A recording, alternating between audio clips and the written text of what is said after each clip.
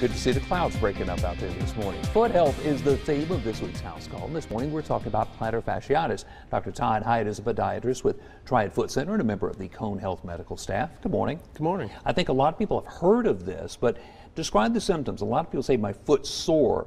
How do you point toward plantar fasciitis as something, uh, the condition that a certain person is facing? I think most people that have actually say my foot is sore, the first thing that they see is when they step out of bed in the morning, that very first sharp pain that they feel in their heel. Okay. Um, plantar fasciitis is basically the inflammation of a ligament that runs from the knuckle bones of the foot to the heel bone. Okay. Um, So you feel it in that you, you heel do. You feel it right there in the heel generally. Okay. Now, there are other issues that can cause heel pain, but typically that first step out of bed in the mornings, then it'll get better after a few steps. Okay. Again, after you've been sitting for lunch, get back up, again, sore. Okay. Um, so that's typically the way that you know that you're That's first down that stage. What can it progress to? If you say, well, I'll just live with it, how bad can it get? it can become debilitating. It can become from acute, simple little pain all the way to coming into our office in wheelchairs and on crutches. Really? So next step is, okay, let's deal with it. I, I guess you, it's not something you want to live with. You got to find a way to get better. First thing you have to do is find a, a physician, a podiatrist,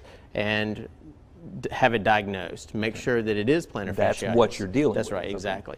And then once you have diagnosed it accurately, then you start an algorithm that we go through as far as treatment. Okay. And, and what would what would treatment be for something? like Treatment typically consists of um, steroid injections, um, whether it's like a cortisone injection, um, steroids by mouth, prednisones, um, non-steroidals, anti-inflammatories, um, stretching exercises, ice therapy, shoe gear modification, um, night splints, things like that, that. And those are all conservative type therapies that we go through to try to, to alleviate the symptoms of fasciitis. Will most people respond to that? I mean, A good 80% will respond to that. so that. you've got a better than ever chance. But I guess the key is if you feel the pain, get it looked at. Don't just assume, oh, this is something that's going to go away. It's much easier to treat a chronic inflammatory condition such as an acute fasciitis as opposed to a chronic long-standing fasciitis. Um, the conservative therapies that we just mentioned typically don't work as well after three or four months. Okay. Some people come in, oh, it's been going on for three years. yeah, it's, Yeah, it's not a- It's not not a- something you should be living with. That's correct. Wh- what are we doing in our lives to make it happen or kind of aggravate it?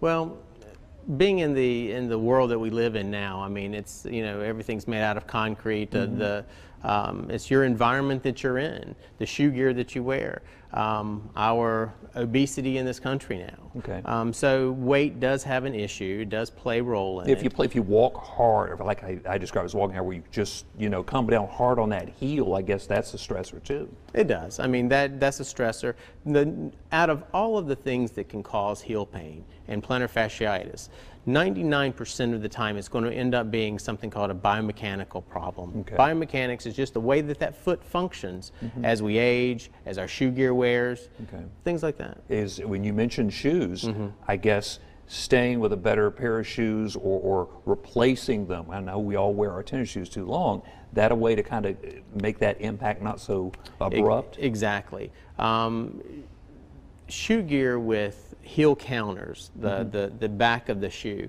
Um, no flip flops, no sandals, no. Oh, come you know, those- on. those Summer kinds of things. comes and we I love to know, wear 'em, I know, and that's when we see a large influx into the office. During the sum- when you go to those- summertime and yeah. fall, we see that. So, um, but a, a good heel, you know, a good heel counter, for instance, in a um, in a in a good tennis shoe. Mm-hmm. Um, and the thing about it is, our tennis shoes wear out. We can't wear them for three and four and five years. They look great, but Despite guts, me wanting to wear them. to that, exactly. Put them outside, use them to mow in. Other than that, the guts of the shoe start to wear out. Okay. Doctor, thank you very much. We appreciate you coming in. We appreciate the advice and we'll all feel better for it.